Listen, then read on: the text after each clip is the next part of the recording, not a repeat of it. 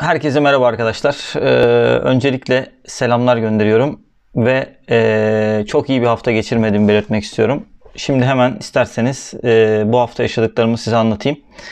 Evet bu hafta e, daha doğrusu geçen hafta çok şiddetli e, yanımda ve işte bağırsak bölgemde ağrılarım vardı ve e, hastaneye gidelim dedim hemen acil servise.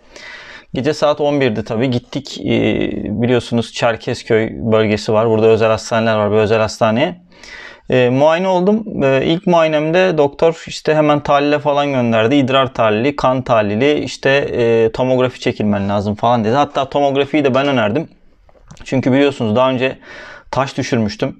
3-4 e, kere tomografi önerdim ve tomografi sonrasında e, bana yine taş düşürdüğümü söyledi ve beni eve gönderdi arkadaşlar. Gece saat 1'de eve geldim. E, yattım uyudum ve saat gece saat 4'te telefonum çaldı ve telefondaki arayan doktordu. dedi ki Murat acil gelmen lazım. Çünkü e, apandisitin patlamak üzere. Evet arkadaşlar apandisit patlaması durumuyla karşı karşıya kaldım ve sızma yaşanıyordu apandisitimde. ağrılarım da dinmemişti.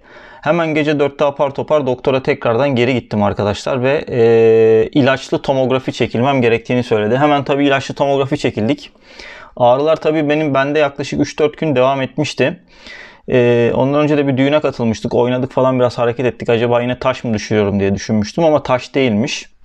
Hemen gece 4'te e, bana tomografi çektiler ve tomografi sonrasında genel cerrahın e, beni sabah karşı ameliyat edeceği ve hastaneden ayrılmamam gerektiği. Yani müşahede altına alındım arkadaşlar.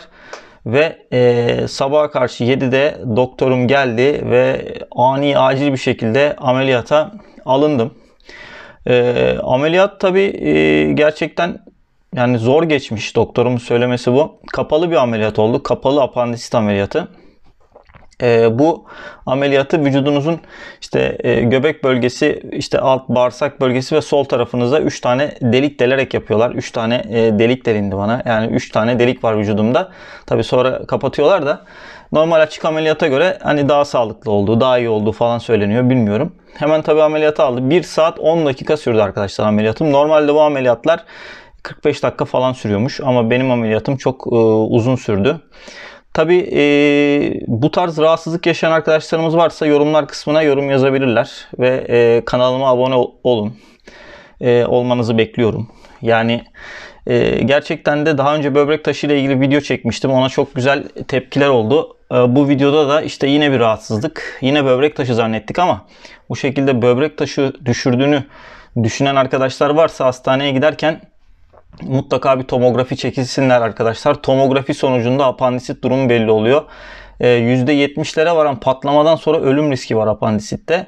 Tabi ameliyatımız olduk. Ameliyat sonrası normalde bir günde taburcu oluyorsun ama e, biz e, iki gün hastanede kaldık.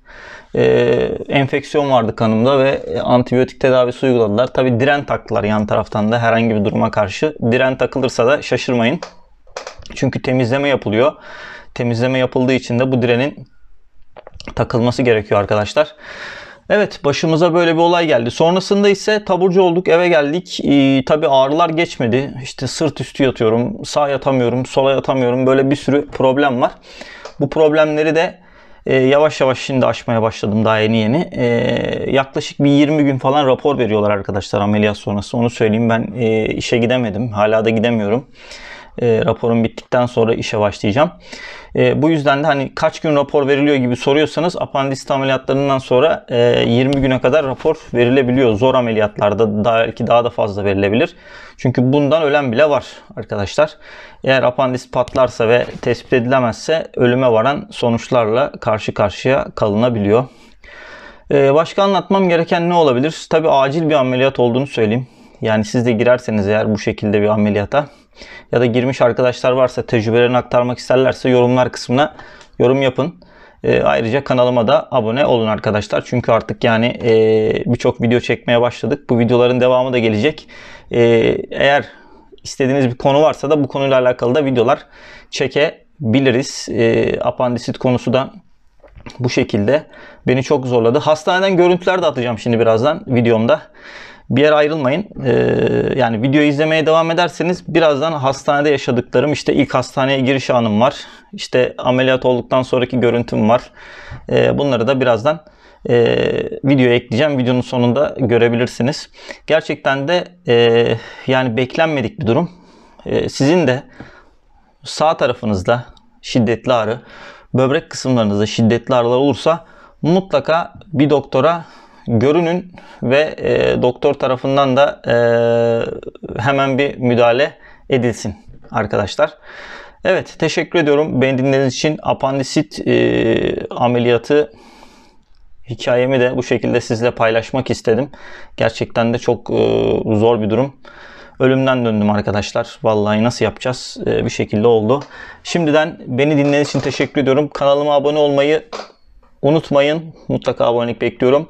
Ve yorumlar kısmına da sizin de ameliyatla ilgili, apandisit ameliyatı ile ilgili yorumlarınız varsa, sorularınız varsa soru cevap yapalım. Birlikte e, dertleşelim, konuşalım. Ayrıca e, her türlü e, aboneliği de bekliyorum. Teşekkür ederim.